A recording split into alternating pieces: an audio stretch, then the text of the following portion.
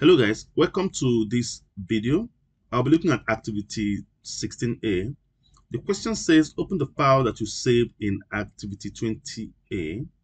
Use this data to produce a vertical bar chart comparing the numbers of days worked for each person except Aminat and uh, Sukrit. Okay, add uh, an appropriate title and labels to the chart do not include a legend. Okay. So for the sake of this uh, activity, I'd already done activity 20A. So I'm going to leave uh, um, a link to activity 20A on, in the description below. Okay. So let's go and open the activity 20A. So let me check it out here.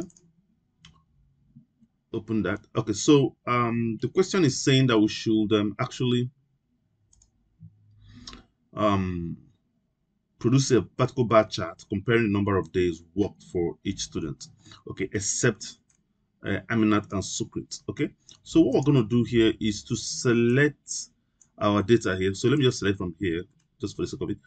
Uh, select from here. You want to hold down your control key to non-contiguously select from Udoka to Braina, right? Something like this. So we're going to exclude Sukrit, and uh, Aminat. Okay. All right. So we want to go to insert. We want to go to um, the chart uh, group and then click on, on that. And then we're going to uh, use a column chart for this. Okay. Because that's the appropriate uh, chart to use.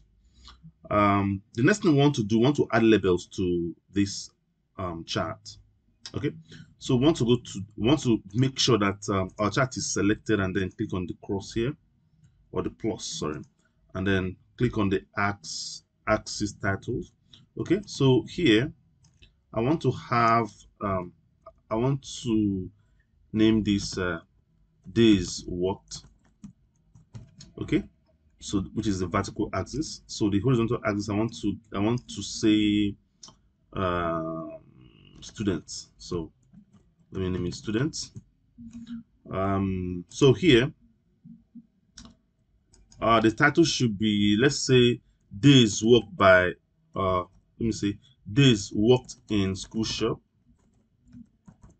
in school talk shop, sorry, talk shop by student. This is this is long a little, but that's okay. By student or by each student. By each student, something like that. Um, correct, yeah let me just make everything let me just no, let me make it a sentence actually. Uh, each student yeah some like this okay? So i think uh, that's about it. So, so this is how you can create uh, that type of uh, chart which is a column chart right? So another question that follows let's see if there's another question that follows. Um so no legend so we're giving it appropriate title okay so this is the title here and then we've given it we've given the labels we've, uh, we've given it some uh, appropriate labels okay? So no legends. Obviously there's no legend here. So we're cool with this. Okay so that's it. So thank you so much for this video. I will see you in the next one. Bye